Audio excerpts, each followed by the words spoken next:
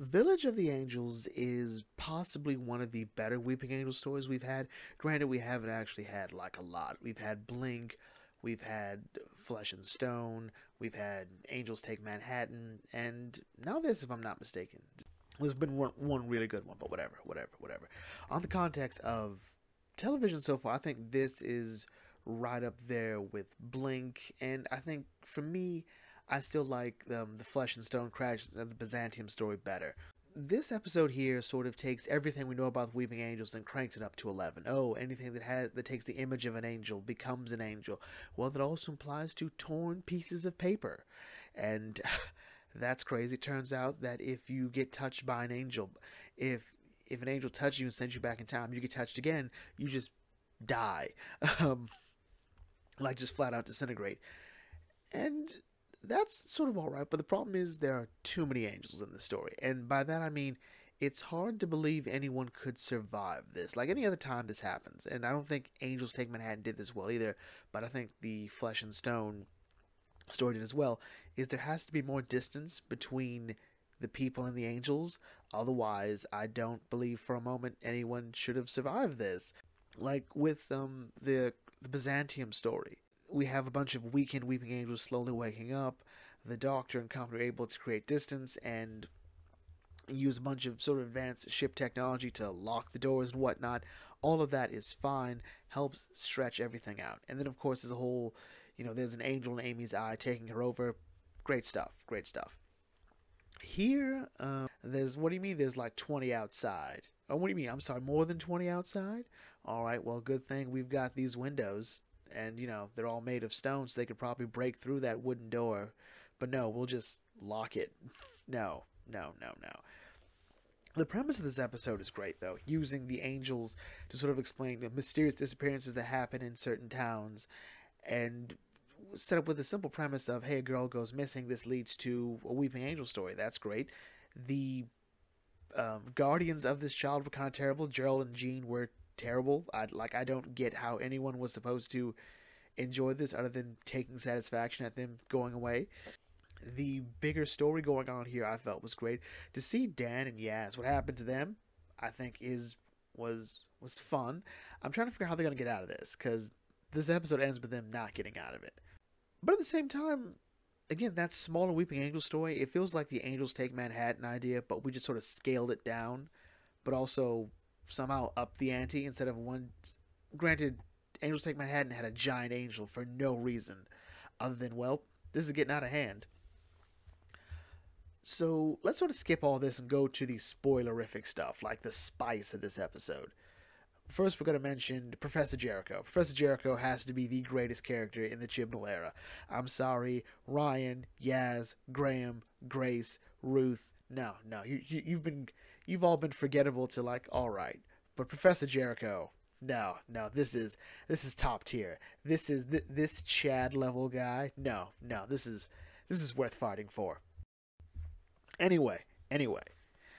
So this episode is about an, the angel that took over the TARDIS in last episode and transported them here. Turns out the angels are looking for Claire, or particularly the angel inside Claire. She's a rogue angel and she has information on the division because it turns out the division has recruited the angels before. They're still recruiting them.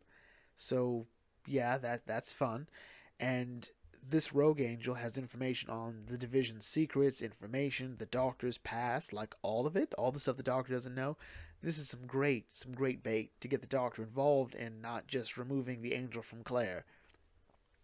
And i think that should have been played up more the idea that the doctor is sort of really um, considering just letting the angel stay inside Claire, but it doesn't go anywhere. It doesn't go anywhere because there's too much going on from a plot point in this episode. There's like like you know at least 50 more angels outside. We can't we can't we can't spend time mulling over this. just got to get the information.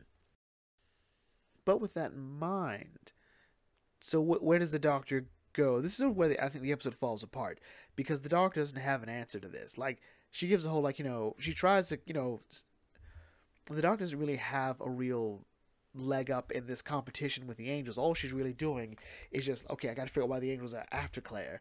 And they're like, oh, okay, they're after the Angel inside Claire. And the Angel, I can't actually get the Angel out of there. So what? I have to protect the Angel and Claire, and I don't have a real way to do that because they've already taken the TARDIS. They've already gotten control of that. She hasn't had much control over the TARDIS since this season started, so she has very little to go off of here. And then, of course, when the episode sort of comes together, the idea of why this village is the way it is, why um, the little girl Peggy was taken, all of that comes together, and you still sort of realize the Doctor has had no control over this story. She hasn't.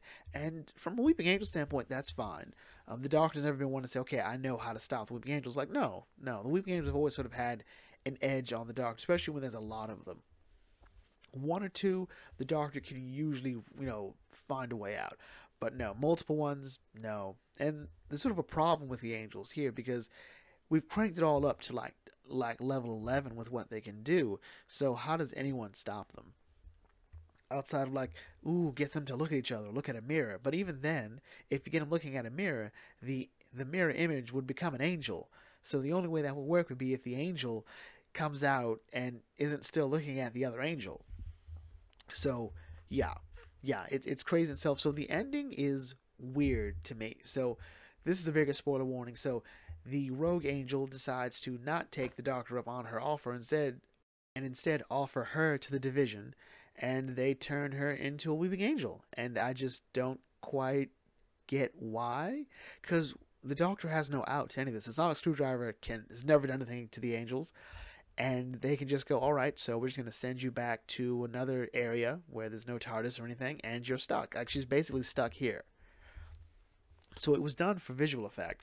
So we'll see what happens now. I think I'd be more surprised if this was the season finale. Imagine if this is how the season ended. Like, at some point, Doctor Who has to end on massive cliffhangers for the season. Like, imagine if the season finale for season one had been Spyfall. Like you know and we this the season ends with the doctor finding out about the Timeless Child from the master and finding out Gallifrey has been destroyed and they're like oh by the way the season's over now. See you later. That would have been great.